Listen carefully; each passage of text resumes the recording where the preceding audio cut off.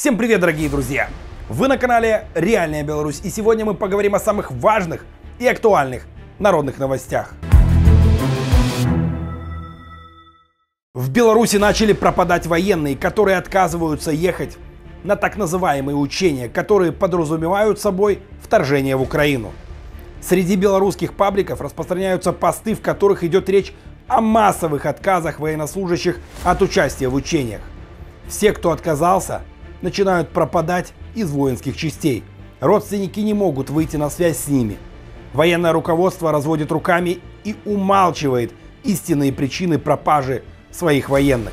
На канале Нехта я дал более подробный комментарий, где объяснил, что Лукашенко выискивает таким образом несогласных, недовольных, не готовых отстаивать лукашенковскую и путинскую жопу в чужой войне. Он выискивает тех людей, которые поддерживают украинский народ. И как заявил полк Калиновского, идите, обучайтесь, получайте оружие, и вы станете сопротивлением диктаторским хунтам. Не давайте повода себя задерживать и не позволяйте делать это с другими.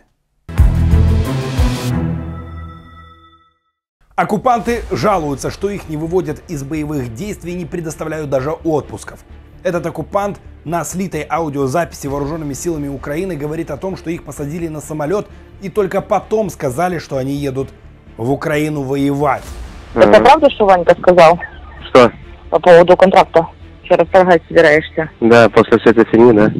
Вот и какой фигни? Ну, какой-то рапорт собираюсь написать 3 числа на то, что это, на отказ идти, ну, типа дальше здесь находиться. Потому что есть вариант того, что это, либо нас будут менять частично, либо нас это еще на три месяца здесь держат.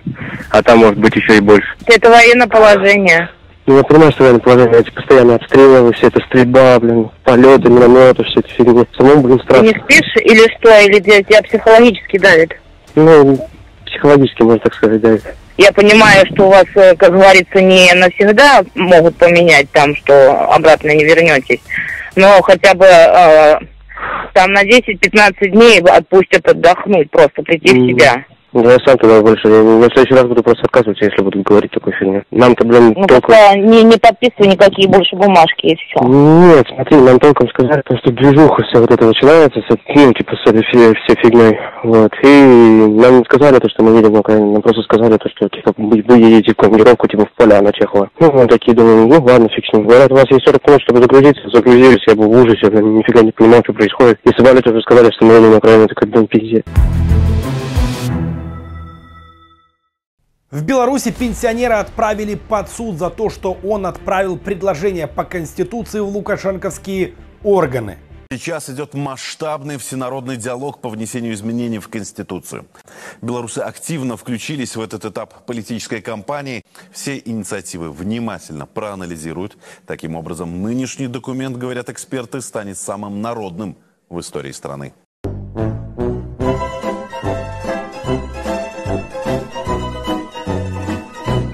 Человек отправил предложение свое по Конституции, его посадили в тюрьму. Белорусские пропагандисты пытаются предоставить данную информацию с искажением, рассказывая о том, что он чуть ли не экстремист и террорист. А по факту что получается? Диктат. Бесправный диктат в лукашенковском Бандестаге. Россия признала, что в войне в Украине на российской стороне воюют срочники.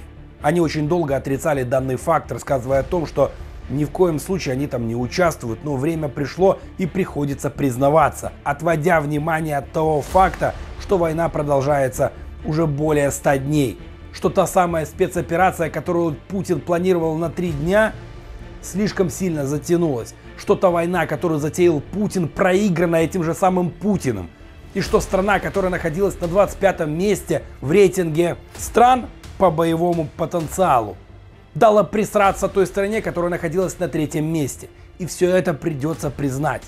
Это только первый этап.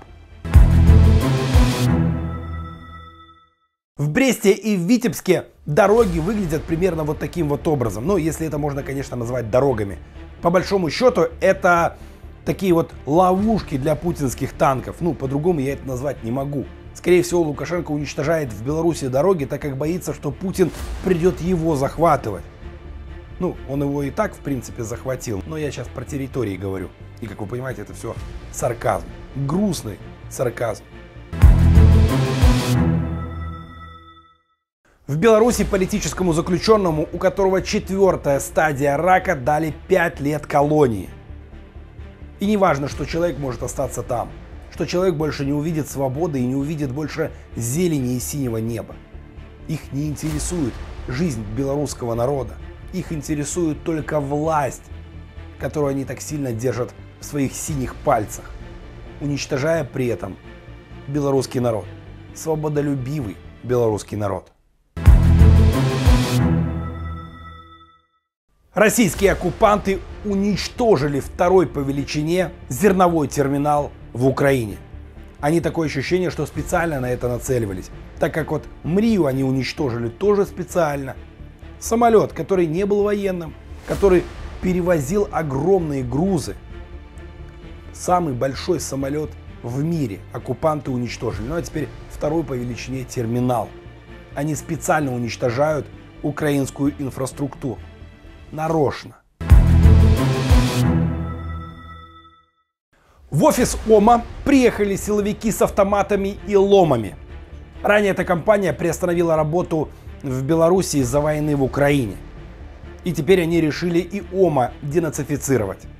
Пускай теперь все строительные магазины денацифицируют, чтобы белорусский народ не имел возможность построить себе тот же самый дом.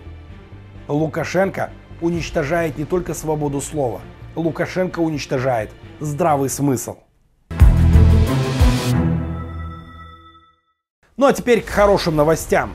НАТО не дает гарантии Российской Федерации о неразмещении ядерного оружия в Финляндии и Швеции, если те вступят в Евросоюз и подключатся к блоку НАТО.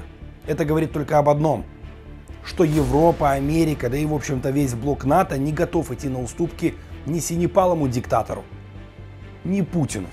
Каждый из них в обязательном порядке ответит за свои действия. И в этот раз не получится, как они делали это всегда. Телеграм в 11 раз удалил канал Губошлепика. Знаете, я уже сравнивал Губошлепик с Чернобаевкой. Как в Чернобаевке русским оккупантам дают присраться уже, наверное, раз 50 и те недоумки все прутся и прутся. Губошлепик такой же неадекват, ну так как он самостоятельно не принимает решения. Им сказали, регистрируемся, и они регистрируются. Ну, заняться им больше нечем. Либо людей садить в тюрьмы и там над ними издеваться, либо телеграм-каналы создавать, в которых выкладывают эти самые издевательства. Лукашенковские бандиты заявили, что колбасу из зубров они делают не совсем из краснокнижных зубров, а из других. Каким образом они это определяют, тоже неизвестно. Наверное, в Беловежской пуще на краснокнижных зубрах так и написано на лбу. Он защищен красной книгой. Послушать лукашенковских бандитов смешно становится. Заносятся в красную книгу те или иные виды животных по причине уменьшения популяции. И так или иначе, какой бы он ни был зубр, он зубр, а значит в красной книге. Ну, по-моему, логика простая.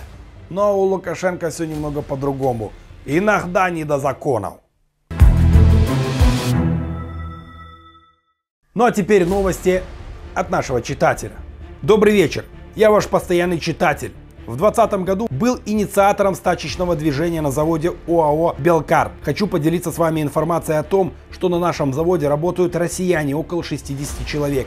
Их прислали из Питера. Петербургский тракторный завод. Зарплату им платят на порядок выше, чем своим работникам, плюс питание за счет завода, плюс проживание тоже оплачивает завод. Хотя для своих работников денег на повышение заработной платы нет – Люди, чтобы получить заветную тысячу, работают по 10 часов. И все субботы.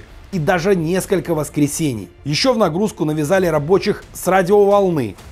Был случай, что человек отработал 32 рабочих дня в месяце с 31. Это если отработанные часы перевести положенные 8-часовые рабочие смены. Прошу вас рассказать про это в ваших выпусках. Надеюсь на анонимность. И все те, кто пишут нам в телеграм-канал, остаются безусловно анонимны. Там читаю новости, которые присылаете вы мне только я. Поэтому мой телеграм полностью анонимен. Вы можете присылать мне подобного рода информацию и помечать, что тут должна быть анонимность и она будет сохранена.